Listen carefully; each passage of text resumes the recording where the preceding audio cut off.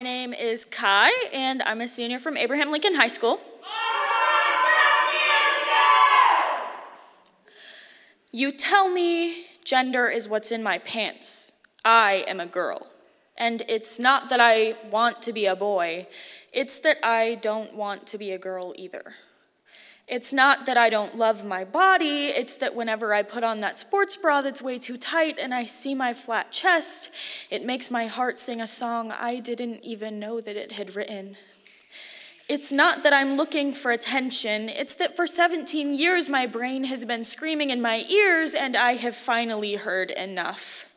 It's not that I don't want you to call me she, it's that whenever you call me they, my eyes smile so proudly you can see the fireworks inside them.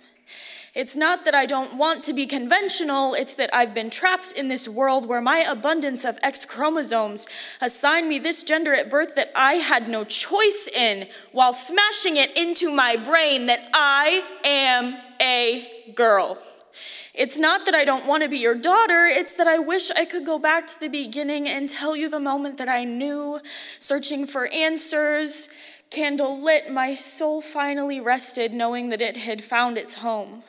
It's not that I don't want to be your girlfriend, it's that when you call me your partner, I see rainbows and butterflies, and it's almost as if you can see the they them pronouns in a comic speech bubble above my head.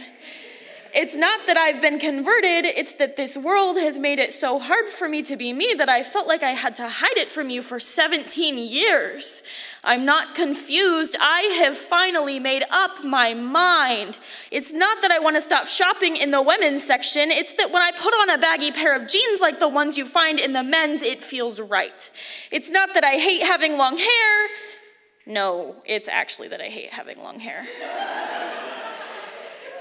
It's not that I don't like the color pink, it's that I've been colorblind for so long that it took me 17 years to see all of the blue in myself that I was missing.